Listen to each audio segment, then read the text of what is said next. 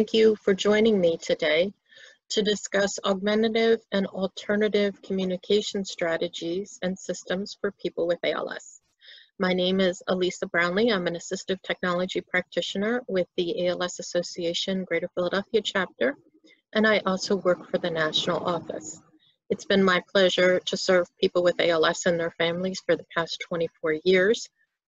And my specialty is communication, and I want to discuss with you different communication systems that people with ALS utilize during their journey with ALS. So there are several different alternative communication options. Now, alternative communication is also known as AAC. So you might hear me use the acronym AAC. It is also referred to as SGD, speech generating devices. They're interchangeable. So AAC, SGD, they mean the same thing. So people that need some form of communication help have several options. We have rapid access, which is fast, efficient communication that doesn't plug into the wall. There's high-tech traditional mainstream devices. And then there's uh, insurance devices, and I'm going to talk about all three of these strategies in today's presentation. So beginning with rapid access, the first priority, the absolute thing that you must do is establish a yes, no, and maybe system. This is really imperative because people that are unable to speak are often ignored. Imagine if you had to call first responders and they had to come into your house, but they don't know how your loved one communicates. So you establish a yes, no, maybe system and you write it down and you put it on the wall. John says yes, no, maybe, bye. That way, anyone that enters your home has the most crucial communication system with your loved one. Are you in pain? Do you need assistance? And those answers needed to be answered by yes, no, and maybe. And once you establish a system, you put it on the wall, as I said, and then you write down how they do it. So a lot of people like to use blinks. I'm not a fan of blinks per se for people with ALS um, for several reasons. Sometimes people with ALS get a really lazy blink. So they'll blink and they'll kind of do that. And was that a yes? Was that a no? Sometimes I'm blinking and I miss their blink. I usually like to give targets. And then after a while, you don't need targets. You'll know that when they look to their right, that means yes. They look to their left, that means no. And they look to the ceiling, maybe. But you could stand at the foot of the bed or at the side of the bed, look this way for yes, look this way for no, look up for maybe. And so you've given them targets, and then you know that you are making, um, you're receiving the information correctly yes, no, and maybe. You can also use letter boards and picture boards. This is an example of a picture board I have here. And these, um, you can customize these. Now these are pre-made, but you can customize them to whatever your loved one or the person with ALS you're working with needs, okay? Um, we have different kinds of boards. The national office and the chapter give out these boards for free. So all you need to do is email me. My email contact is on the first slide and my email contact is on the last slide. And I should have said that I will share this presentation with anybody. All you need to do is send me an email and ask for my slides. So I'm more than willing to do that. You can use boogie boards. Boogie boards are um, uh, electronic LCD boards. For those of us old enough, we used to have boards that you would write on and you went zip and the writing would disappear. Well, these are the same thing. You write and then you press a button and it disappears. They're called boogie boards. They're available on Amazon or you can go to your local Walmart and or or or um, or Target and get um, wipe off boards. You know, just whiteboards, and you use a marker and you erase it. Um, eye gaze boards, which is this is one of them. Um, use of laser pointers, um, which I will show you in a moment. And then there's a, an electronic device called a Megabee. It's an electronic um, letterboard system. So here's just some examples of different rapid access technologies. This gentleman in the corner here um, is using a laser pointer, which is what this is. And the laser pointer is actually, it's called a safe laser, so it is safe to go into, you know, unfortunately, if you aimed at someone's eyes. But you put it on the side of your glasses, and then you can use it in conjunction with the letterboard. So say this was on my, okay, can use it on conjunction with a picture board. All right, a lot of people, what they do is they'll put this on and then across the room, they're going to have a poster board and then they can just write out or write out what they're saying. That poster board, 69 cents at, at Target, Walmart. You can put the alphabet on there. You can put frequently used phrases and sentences, um, words like glasses, hot, cold, etc. Whatever they're using. Um, so you can purchase these laser pointers um, at a, uh, an online store called Low Tech Solutions, or you could make your own. What you can do is you can go to the dollar store or Five Below, you grab a laser pointer. Now most of them have a little um, button that has to be ke uh, kept on. That's the difference. This one doesn't. Um, but this one is also $130. If you go to your dollar store, your Five Below, you grab one that looks like this, okay? Um, and on the button, in order to keep it on, you just press a little piece of popsicle stick, a little stick, put some duct tape around it and turn it on and it's good to go. Now, of course, that one you don't want to aim in anyone's eyes. Um, that's a given, but it works and it can be a system that you put in place within a matter of minutes and then you go and you buy the poster board at the dollar store and you have a communication system immediately. Um, this picture, this is the one I was talking about, the boogie board, that's an electronic LCD board. So, you know, you write or you draw and then you press a button at the top and it goes away. Um, the one in the corner here, this is called a critical communicator. And the nice thing about a critical communicator, it's a threefold. So on this side, you have um, things like, say, oxygen and suction, an IV line. Um, and in the middle, there's more pictures. And on the back, there's the alphabet. But the thing about the critical communicator is that it comes in 21 different languages. So this is the one that's in Arabic. And as you can see, um, for this one, the IV pole, not only does it say it in Arabic, it says it in English so that there's no communication breakdown if your um, person, your loved one, or the person you're caring with speaks a different language and you only speak English. So again, these come in 21 different languages. And then you could also make your own. You can use these, any of these as a template to make your own and customize it for um, the, whatever that um, you need for your individual with ALS but you always, always want to have a rapid access system.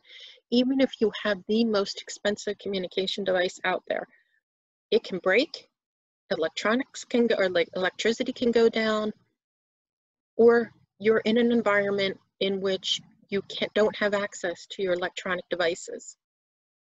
So in my 24 year career here, um, I've not yet seen anybody use a communication device when they're on the commode. So what are you going to do to communicate on the commode? You could use a picture board, a letter board, or you can even do something called encoding, which is what I recommend for the bathroom. Because there aren't that many things you want to say on the bathroom when you're on the toilet. So you will come up with the, the five things that you need to say, for example. You know, number one is I need more time. Number two is I'm ready to get up. Number three is can you wipe me? You, again, put that on the wall. Put it on a piece of paper. Number one equals, number two equals, number three equals. Now, most people realize that when you're on a toilet or a commode, you're mostly folded in, okay? But if my caregiver says, do I do you need to say something to me? Uh, one, two, three, uh, okay, you're ready to be wiped. Good enough. We've got that communication system established. Because what I've heard from our families is our biggest challenges for communication are in the bathroom and the bedroom.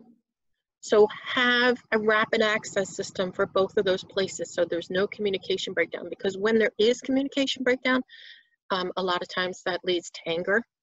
Um, and anger is the most uh, difficult emotion to deal with. Um, when somebody with ALS gets upset and they're angry and they do have some speech, the more emotional you are, the worse your speech is going to get. And so it's a vicious cycle. The caregiver keeps saying, what, what? The person with ALS gets more upset, the speech gets worse, and then communication totally breaks down. So in order to avoid that, grab something, grab a letter board. If they can still write, grab a piece of paper, grab that whiteboard in order to alleviate um, the communication breakdown. Okay, these are really important also when it terms of rapid access for emergency preparedness. In today's environment with COVID-19 in our hospitals, most hospitals do have a policy that there are no visitors allowed in the emergency room for an inpatient hospitalization um, if your loved one is emergently vented. Um, so you are not allowed, you as a caregiver are not allowed to be in the hospital or in the emergency room with your loved one. So they are on their own. How are they going to communicate with the hospital staff? That's where these things come in so important. Okay, um, there are way that that and the yes, no, maybe system is the way that the hospital can know how to communicate with your loved one. We also use these letterboards um, for other emergency preparedness, as in terms of mandatory evacuation or if you're in a shelter. So teaching these strategies, these rapid access technologies, can really save somebody's life. I don't say that to be over dramatic. I say that that in, in our healthcare system right now, our first responders are overwhelmed, our hospitals are overwhelmed. And so the most basic communication of yes, no, maybe is crucial in order for a person with ALS to let the healthcare workers know their wants and their medical needs. So you guys, some people say, okay, you, you've expressed interest in, in a communication device. So these are things to consider. Um, who's asking? I get a lot of calls from caregivers saying, I want a communication device for my loved one. So my first call, my first answer question is, you know, have you talked to them about it? Well, no, I just know they're going to use it. Well, I'll be honest, no, that's not true. They have to want to use it. They have to understand what you're asking them to do.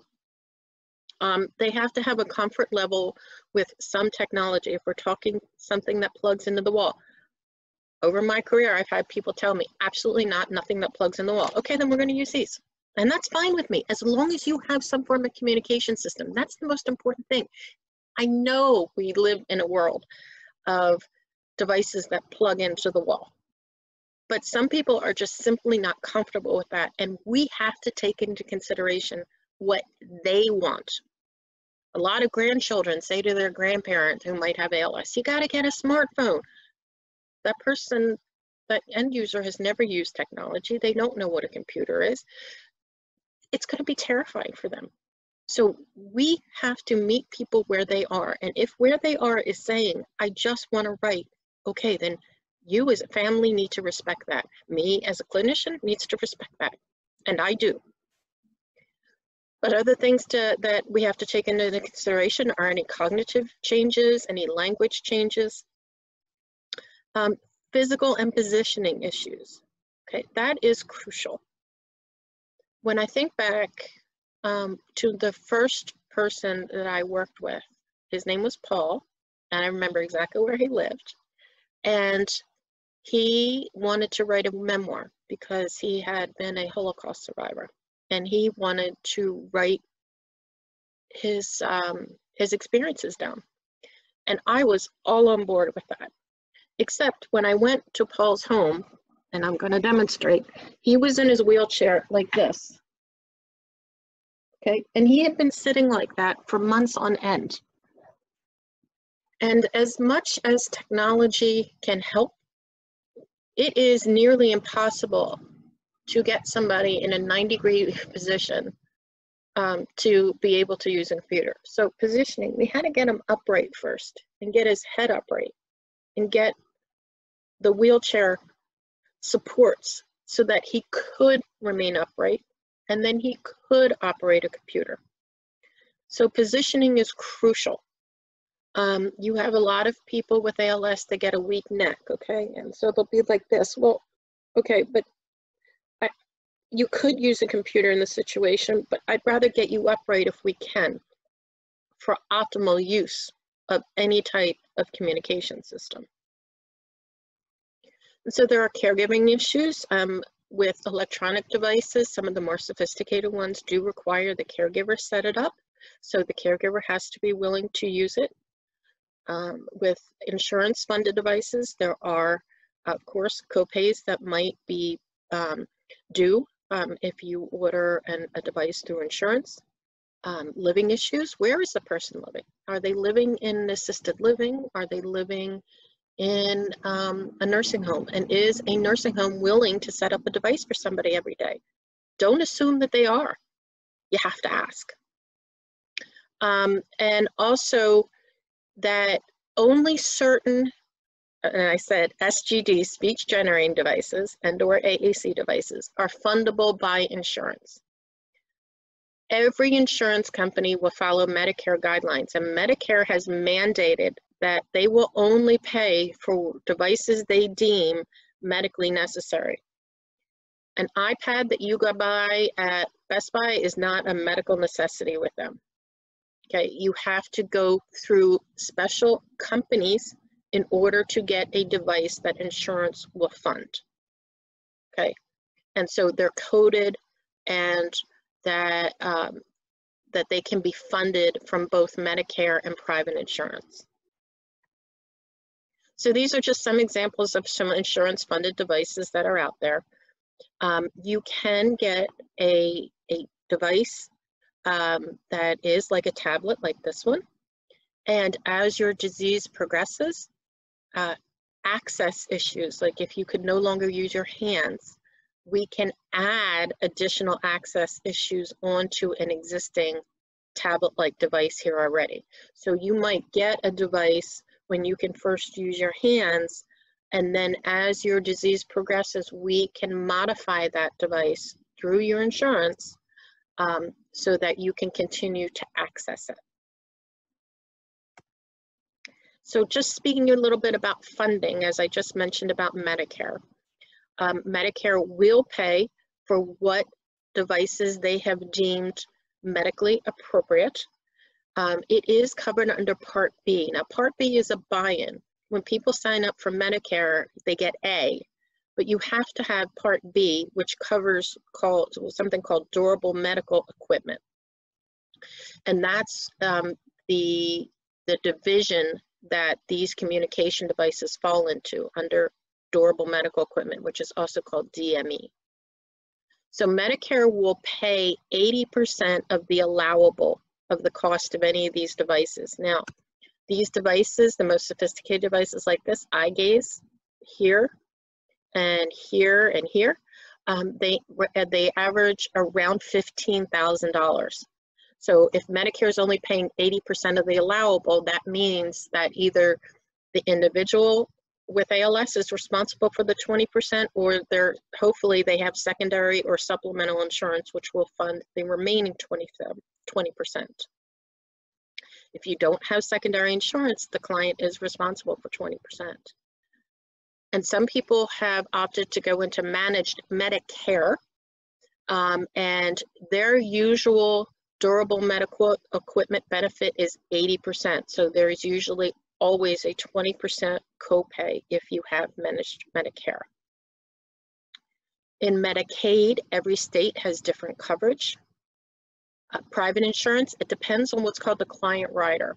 So even you could have two people that have Keystone Blue Cross in the same room with sitting on the same sofa, and they might have um, different riders. They do have different riders because your company has negotiated different coverage, even though you're covered under Keystone Blue Cross. So uh, a rider is basically how much of the insurance is going to fund for a particular procedure or device. So when it comes to AAC devices and you have private insurance, you need to call your insurance and say, what is my durable medical equipment coverage? I've had an answer of zero for some folks. You have no durable medical equipment coverage. I've had uh, 50%. Um, usually the average is 80%. I've rarely had 100%, but sometimes it happens for meta or for AAC devices. Um, so you have to call and ask what your durable medical equipment coverage is. And then the Veterans Administration depends on what category the client is in, but all our clients with ALS should be category one, which means that they would get it automatically. Category one is the highest category in the Veterans Administration, and vets that are category one get almost all devices that they ever ask for.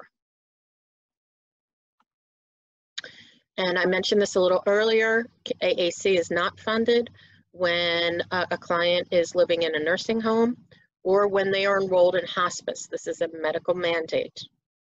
So for clients in nursing homes, check your state's Medicaid coverage.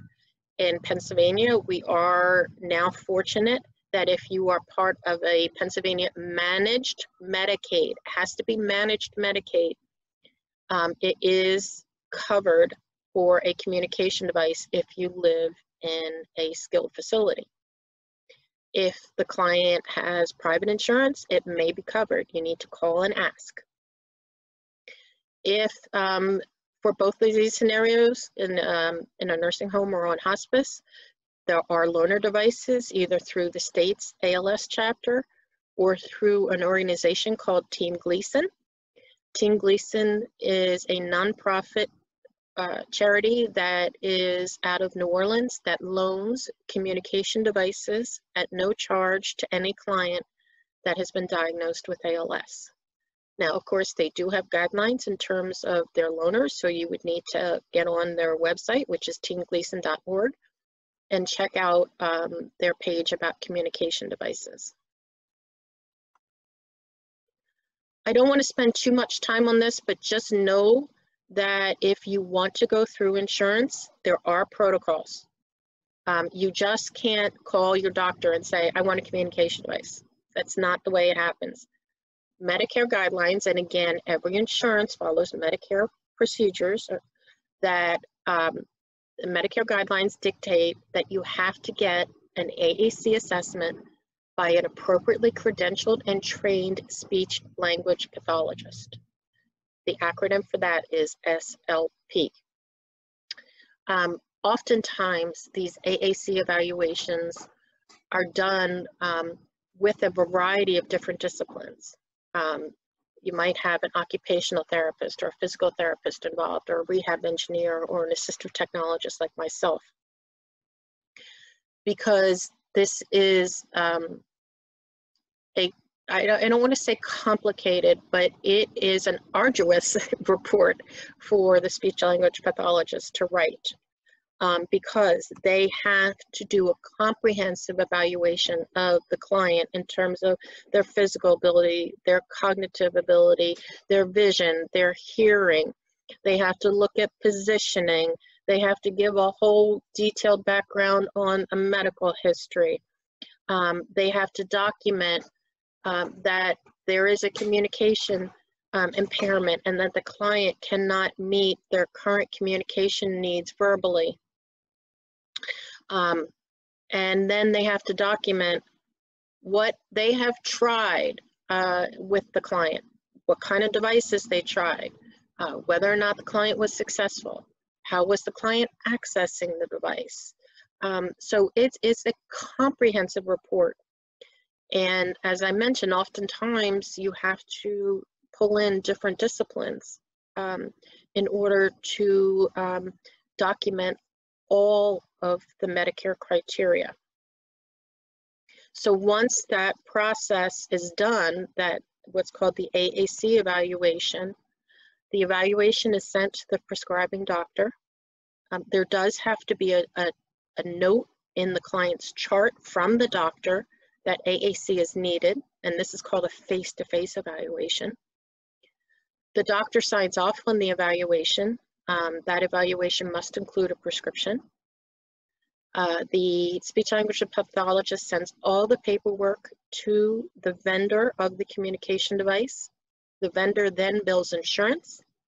And once approved, the device is usually shipped directly to the client. Oftentimes, from start to finish, this process can take about two months. Worst case scenario, three months.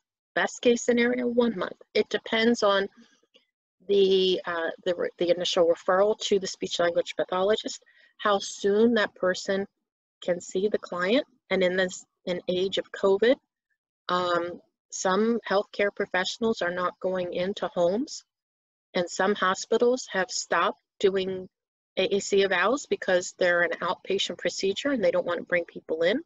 So even getting an evaluation could be difficult. We are trying to get AAC evaluations covered under tele-rehab, still working on that. Um, and so just getting the evaluation may be problematic right now. So allow enough time from start to finish don't assume that just because you have the need, oh, I need it now, that I'm going to get it tomorrow. It, through insurance, it does not happen that way. So for people with ALS, insurance will only pay for current needs, not future needs. And this is important because, and I'm sorry, this got a little messed up here when I trans transferred my slides. Um, this picture should be over here.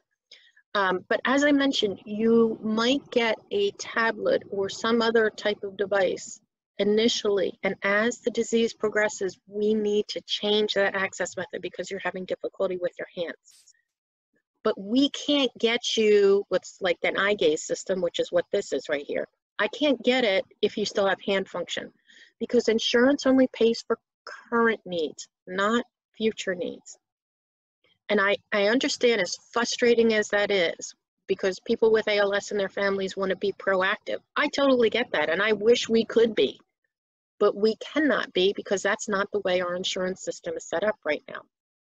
So we get them what they need at the time, and then we add on.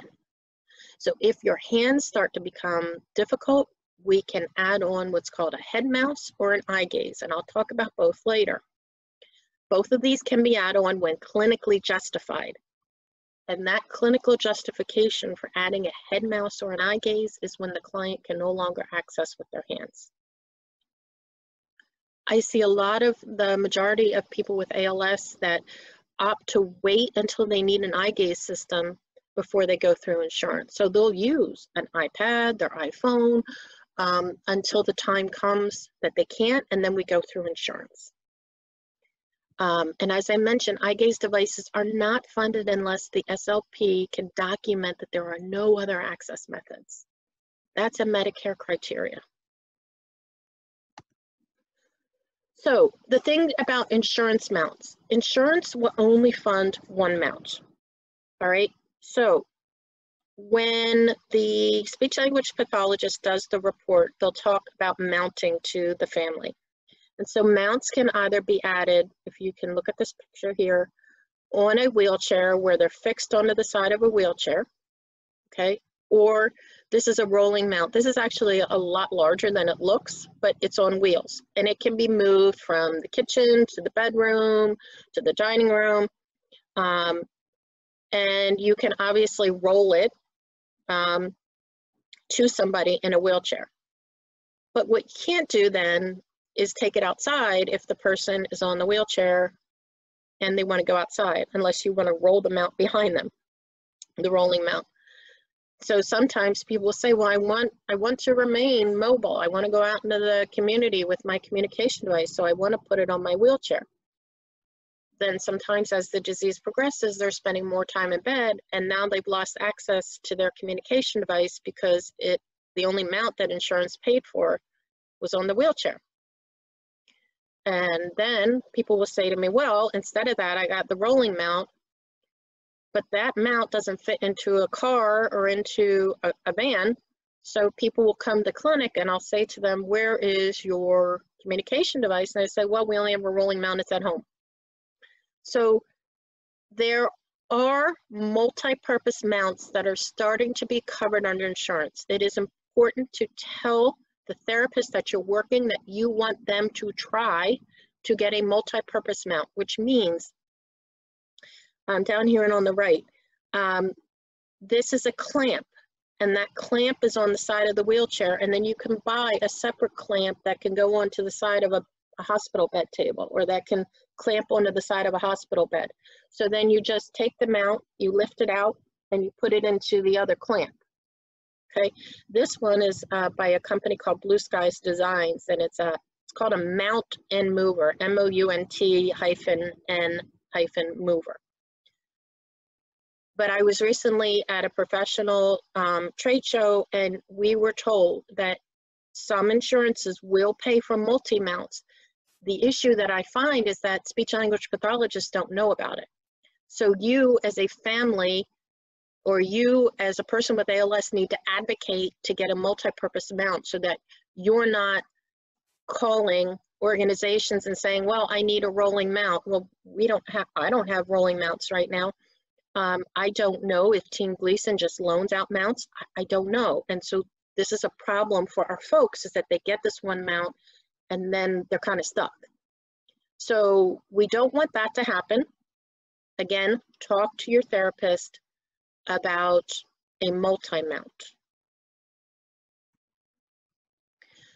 So talking about um, non-insurance funded devices. So for people that either don't want to go through their insurance. Maybe they don't have insurance. Um, maybe they're living in a nursing home, as I mentioned, where there's no coverage. They're enrolled in hospice. They can't, during this COVID epidemic, um, get access to a speech language pathologist. Um, what can we do for those folks? And there's a lot you can do that you can buy a device and have it you be used as a communication device within a half hour or so. So you can use your iPhone, your iPad, your Android tablet, your Android phone. So iPad, iPad communication apps. You don't need to spend a lot of money on a good app, okay? I love Speech Assistant for $14.99. I think it's a great one. Um, there's Co-Writer, which is what I'm gonna bring up for you right now. All these apps allow you, whoops, I'm sorry, to save frequently used phrases and sentences, um, to create a whole speech before you give it, um, to create questions for your doctor that you can give over a telehealth visit, okay? They um, have male and female voices. Most of the voices coming out of them are really good. Um, the more expensive ones can, can obviously do different things. But if you just want a text to talk device, or excuse me, app, you can get one for as little as $14.99. So on my co-writer here, I have, um, got to turn my sound on, and I'm going to turn up my ringer, and it's going to say, Hello. Please be patient as I am using my phone to communicate with you. I did that earlier today, and so now that is going to be part of my saved messages okay, so that I can bring it up at any time. You can also use these devices to activate your smart speakers, okay? So you can have, whoops, um, you can have, Cutting board clean? Whoops, Well, it may not. sorry, um, I have, I have set off my, Clean your wood my. Alexa, Alexa, stop. So Alexa, stop. Trying to lift it up so you can see it without activating it. Sorry. It's a little hard one-handed, but Alexa, what is the news? Here's your news. Alexa, stop. In NPR News. On Alexa, NPR. stop. So I activated my Alexa through my communication device. So smart speakers will respond even if it's a different voice coming out. As long as you give them the verbal commands, they don't care if it's coming out of your phone or if it's coming out of your iPad or, or your Android.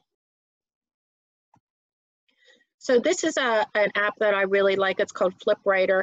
And basically, this is nice if you're ever out to eat again, um, or if you're, you know, in a, uh, a in a, a coffee shop, or if you just want to have a private conversation.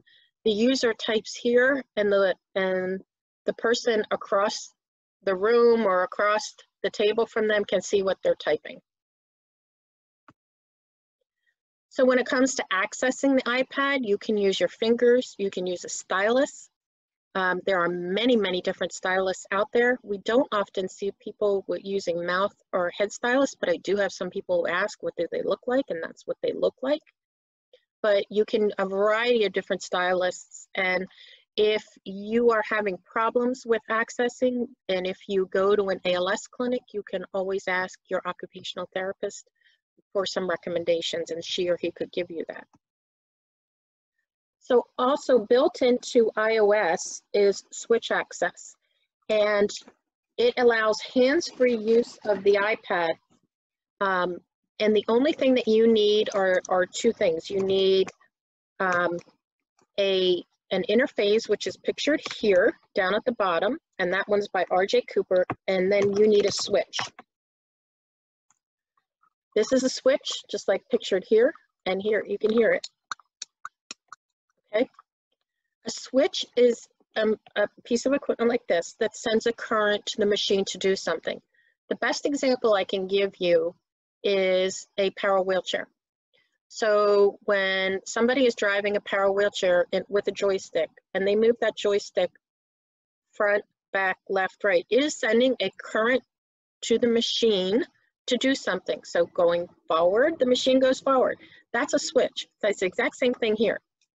But when I hit this, it's sending a current to the, the iPad or a communication device to do something. So this is an, a pillow switch. This is the one up here okay? But you can put switches anywhere on the body there's muscle movement. So up here, and as long as you hear that, you know that the person is activating it, all right? You put switches under here, hundreds of different switches based on the client's muscle movement. But with, with ALS, uh, switches are often dynamic. So I can, somebody can start using a switch in their hand and then their hands might become more difficult. So then we put it near their head or they'll put it near your chin, okay? But what a switch does is once you hit this, and this is actually plugged into that black box you see down at the bottom, which is Bluetooth, it sends a current to the iPad to start scanning. It goes row, row, row. I hit my switch, then it goes column, column, column. I hit my switch and it opens notes for me here. And then I type away. I get the on-screen keyboard, comes to the letter that I want, I hit my switch, and it types my letter for me. So the ability to have switch access is already built in to the iOS software, but you do need these two external things, which is the switch, uh, the Bluetooth switch adapter, and then any type of switch.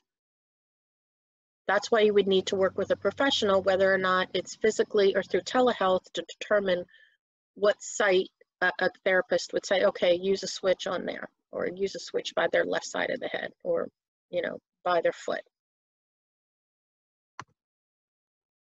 So a lot of apps now coming out for the iPad front-facing camera access. All right, you need an iPhone 10 or above or an iPad Pro. You need the camera in front of the iPad, okay? Um, and so the, the idea behind that is that, um, so this is called I Have a Voice, all right? And the idea is that I'm moving around. Okay, I hope, I don't know if you could see that, but I'm moving the dot around by moving my eyes, okay? And so it is a really limiting um, app in terms of it, it doesn't have a lot of function, feature, oh, sorry, a lot of features. You know, it has yes, no, I'm hungry and pain. But there are others that are out there. Um, one of them is called Hawkeye, and Hawkeye allows you to have greater access. It doesn't allow you to have full access to the device yet, um, but they're coming, okay? Um, but as long as you have the front-facing camera on the iPhone, you can use these apps. There is now a product called Skyle, um, and it allows you to have full eye gaze access to an iPad Pro, all right? Um, it's expensive right now. It just came out in January, so, you know, the price will come down, but it is $3,000. Can be cheaper than a copay if you only have 50% coverage for a $15,000 device. And as I mentioned, it gives you full eye gaze control of your iPad Pro. Comes with a protective um, case and a built-in mounting plate for wheelchair users. So these are mounts that you can buy um, for your iPad or your Android device. And you can get them on Amazon. I have one here. All right, this is this comes in um, a variety of different sizes. This is like a 30 foot, 30, sorry, 30 inch. Um, but you can get them as small as 15 inches. But the idea behind this is that you clamp it on a wheelchair, you maneuver the gooseneck, and then you position the iPad or the iPhone right in front of the user, okay? Comes here, you, this is for an iPad, and you would then do this, put the iPad in, and is secure. It also has a plate that you can take off. If you're not using an iPad, you can put this on for an iPhone or an Android phone. I shouldn't just say the eyes. Um, but these are available on Amazon. I think this one was $35. Um, you can also get ones that just stand if you want. This is just a stander. Again, you put your device in here and um, you can actually move it this way or you can move it this way. And this one stands. This is again on Amazon. But the nice thing about these device, uh, these um, mounts is most of them come with a clamp at the bottom. So again, when I go back to moving it from one device to the other, you can move this from your wheelchair and then put it onto the side of a hospital bed like here, or onto the side of an over the bed hospital table, or onto the side of your coffee table, whatever. So that's why they're really nice is that they're movable depending on what environment you're using them in. So speaking a little bit about Androids, I've been talking about the iDevices, but there are lots of Android devices um, and lots of Android apps for both tablets and for um, uh, for Android uh, devices themselves. So this is my Android phone. This is the, the app I, I told you I like. It's called Speech Assist. You can see these are all pre-programmed. I hope you can see that. Uh, phrases and sentences. Um, this one says, I cannot speak. I am fine, thank you. Good afternoon. Good evening. and up here are different categories. It says phrases, food and drink, verbs, body, feelings. And you can customize all of this, okay? So you could say, I'm calling 911. I have an emergency. My phone number is and plug it in, okay? Um, the, the speech assist can be used on the Android phone, again, or on the tablet. And then the Android gives you a little more leeway in terms of access. Um, the products, the iPad especially, besides that Skyle, there's and and the switch, there there's no other external um, method of access besides hands. The Android um, can because all the external things that you see here require a USB port, and that's the one thing that the iPad does not have. That that is deliberate from Apple. They want to keep it that way. Um, but the Android tablets do offer more access, and I'm going to talk about that in a moment. But we do also have people using full-size laptops. People are comfortable with that, and that's okay. You can even get laptops now that are dual function, that function as a laptop, and then the, the lid folds over and it acts as a tablet. but you can utilize these with both your hands and eye gaze access again and head mouse access. And that's what we're going to talk about next. So a head mouse replaces the standard computer mouse for people who cannot use their hands. Um, and it translates the natural movement of the user's head into movement to move the mouse around. Okay, works just like a computer mouse, um, but you're using your head instead. So here it is. This is a head mouse. This is a receiver that is obviously on the top of a laptop. It can also go on the top of an Android tablet. And so this receiver um, works in conjunction with my head movement. The user wears a dot, a reflective dot, either on uh, their skin or on the bridge of their glasses. And that reflective dot is picked up by the camera and the head mouse. And as I'm moving around the screen, I'm moving the mouse. And at the bottom, you can see here an on-screen keyboard, similar to what you get on any smartphone or any tablet. And what I do is I move my head around and I find the letter that I want and I dwell on that letter. And after a certain time, which I set, the computer or the tablet types that letter and then I move on. A N, D space. So in order to utilize a head mouse, you have to be able to get the mouse on all four quadrants of your screen. It does take um, neck strength.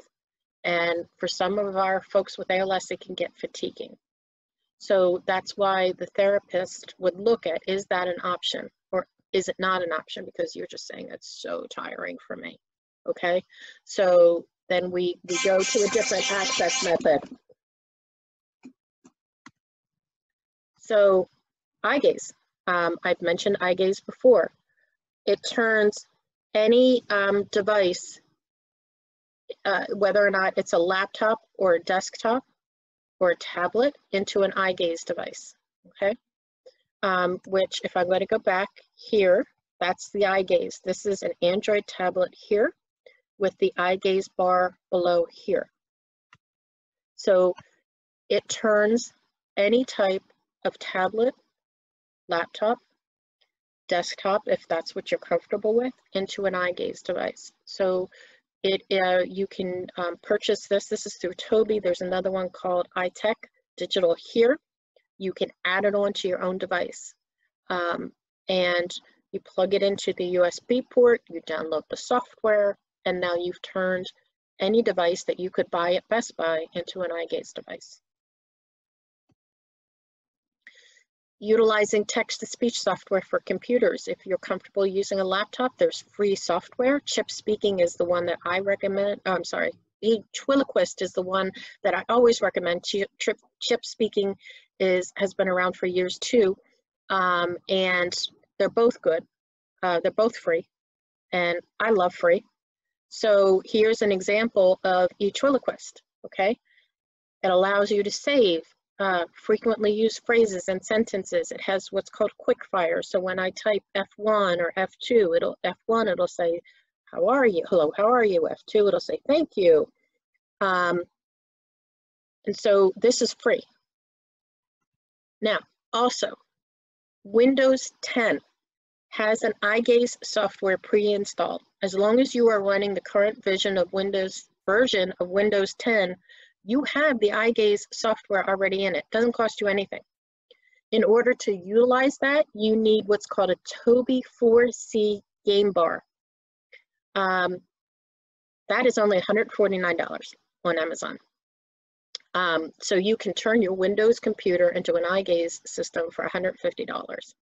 Now, this bar is not as precise as the one that costs $2,000, but it is a good way, first of all, to figure out if you even like using eye gaze.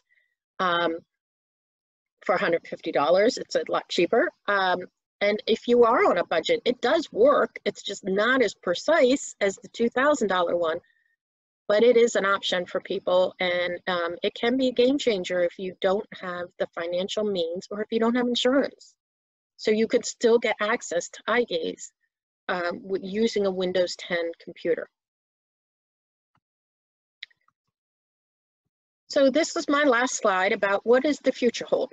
Um, Because a lot of people ask me that. Um, brain-computer interfaces, maybe, uh, is under a lot of research uh, for both invasive and non-invasive. And the idea is to harness your brainwave technology to utilize a computer. Um, it does work. We've had people use it, but it is still in research only. So you will see the non-invasive, it's like a skull cap with all these electrodes coming out. And then there's an invasive one where there are, is a sensor placed in the brain. This is deep brain surgery. And then there's a, a small bolt that comes out of the, the skull and uh, that these receivers are then pressed on that bolt, pressed, screwed in. Um, the idea is you harness your brain waves to either um, use communication software or in the terms of these two ladies at the bottom, uh, they actually are driving robotic arms um, with their brain waves to feed them. And I chose these two pictures because they're from a, a video that is available on YouTube from a company called BrainGate. But uh, I loved these two women. First of all, uh, neither of them had been able to feed themselves for years. And the woman on the left here uh, used her brain waves to feed herself chocolate. And then the woman on the right said she always wanted to sip her own coffee. So two of my favorite things, chocolate and coffee. So I had to grab these two pictures of these two incredible women using brain waves to operate robotic arms to deliver food and drink to themselves. And lastly, sorry, I thought it was my last slide, but I've had a lot of people say to me, why don't people use communication devices? Well, there's a variety of reasons, and I'm going to circle back to one of the things I first said in the beginning is that families don't involve the end user. You know, they'll just make assumptions. Oh, they'll use this or I'll make them use that. I've had other people say to me, well, if I use that communication device or that app, you know, I'm giving in to the disease. And I always say, I'm sure you are. By not communicating with me, you did let ALS win, didn't you? You know, it's not giving in to the disease to use assistive technology. It's to make your life better, to enhance your quality of life, and then sometimes to keep you safe or to keep you alive in in in a hospital during COVID right now so that people know how to communicate with you. Um, a lot of people have said to me, I don't need it, I sound fine. They don't seem to hear that they do have a speech problem. Um, so if your loved ones are saying to you, you know, your speech is really um, being difficult to understand, they're not saying that because they're being mean, they're saying that because they love you and they desperately want to understand you. So they want you to be able to communicate and they're encouraging you to use some other form of communication system besides verbally. Um, and people have said to me, you're supposed to understand me um, as my wife or my husband. Uh, that's not necessarily true. they're making every effort. Um, and sometimes there's a lot of fear and anger about the loss of communication, which I totally understand. Um, and then people are resistant to technology. So know that using a, a different form of communication besides verbally is a process. It is not something that happens overnight. Again, I say to my, my people with ALS, when people say they don't understand you, it's not because they're trying to be difficult. They are desperate to understand you. Um, they just didn't. Um, and so using another form, typing it out, writing it out, can, can alleviate those communication breakdowns and it can alleviate the anger that you might feel that goes along with it. But people value what you're saying. They just need you to use another form in which to say it. And as I mentioned, you know, there, this is a process. There are some psychological issues of, of using assistive technology and, and therapists don't be despondent if a person with ALS opts not to use your suggestions, um, know that they're they're in a process. It's it's similar to um, the bereavement process. When somebody loses the ability to speak, they're grieving um, what they always had, the loss of their verbal communication. So they're going through the acceptance and the denial and the grief and the bargaining. Um, it's a process. So some of the resources, the National ALS Association has great resources, um, but I would hope you would also utilize me. That's why I'm here. That's why I'm employed by the chapter to help you to understand what your options are. And um, I'm happy to take your emails. You can also connect with me on Twitter.